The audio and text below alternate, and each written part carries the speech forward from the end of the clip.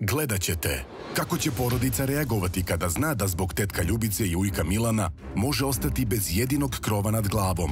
Došlo je do tog momenta da moram da vam kažem kako stoje stvari i da vam iznesem kompletnu istinu vezano za kuću u kojoj živite. Kako će Milan reagovati na optužbe da je seksualno zlostavljao rođenu sestru? Da li će on priznati krivicu ili poricati ceo događaj? Oni su tebe optužili i kaže da si ti nešto e, zlostavljao, Svetlana. Da, ali to nije sve tačno. Seksualno je. Rođen brat? Da. Ništa dokazano nije.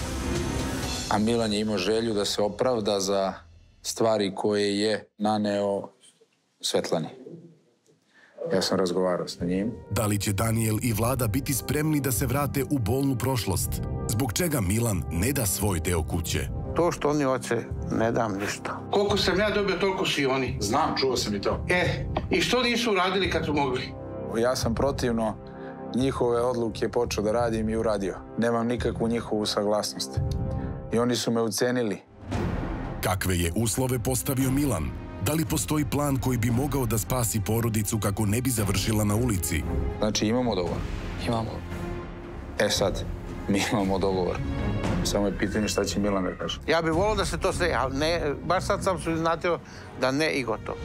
Ima li nade da petoro dece dobije svoj dom ili će im ujak uskratiti šansu za lepšu budućnost?